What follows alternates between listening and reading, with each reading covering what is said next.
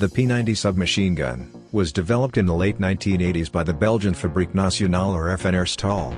It was chambered for a completely new ammunition and was intended as a personal defense weapon for non-frontline troops, vehicle drivers, tank and artillery crews.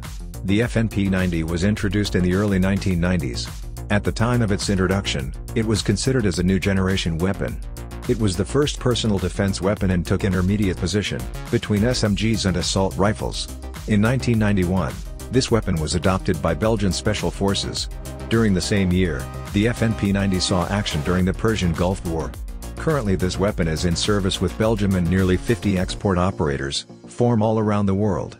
However only around 20,000 of these submachine guns were produced.